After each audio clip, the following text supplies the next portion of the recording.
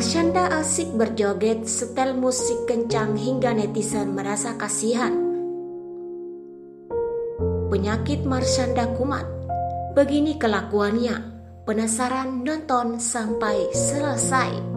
Namun sebelum kita lanjut membahas, mohon luangkan waktu Anda untuk menekan tombol like, share, dan subscribe-nya. Tak lupa nyalakan tombol lonceng notifikasinya agar tidak ketinggalan berita menarik dan terbaru seputar selebriti terupdate dari channel ini.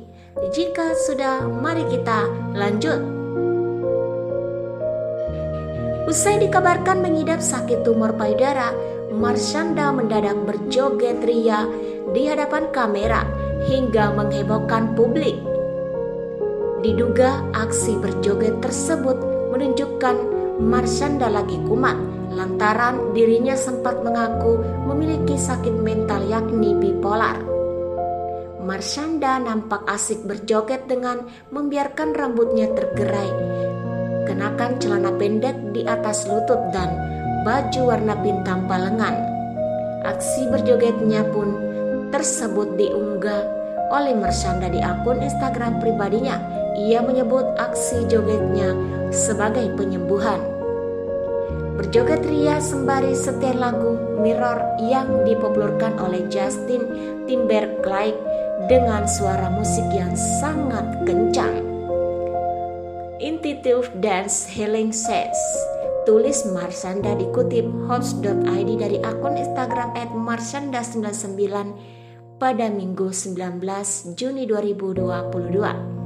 Sontak saja aksi heboh Marsanda joget-joget dengan setel musik hangat kencang itu mencuri perhatian publik. Banyak publik menyayangkan aksi berjoget Marsanda tersebut dilakukan untuk penyembuhan sakit mental yang dideritanya. Bukti memberikan rasa sayang kepada Marshanda, netizen pun beramai-ramai menghimbau wanita dengan anak satu itu untuk lebih dekat dengan Tuhan. Di bawah solat, solawat, dan syikirca, Bismillah hati tenang ujar salah satu akun Instagram. Banyakin istighfar sama baca solawat daripada kayak gitu, ujar akun Instagram lainnya.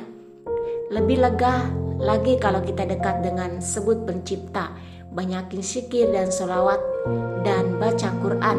Insya Allah lebih tenang tulis yang lain. Sholat dan syikir biar hati damai dan tenang tulis salah satu akun Instagram. Jujur gue kasihan sama dia. Kenapa dia nggak meditasi dan sholat saja kah Tulis akun lain. Kok aku sedih ya ngelihat kamu cak? Terapi Nusifa cak. Kedoa dan sikir tulis akun Instagram yang lainnya. Sekian dari video terima kasih sudah menonton.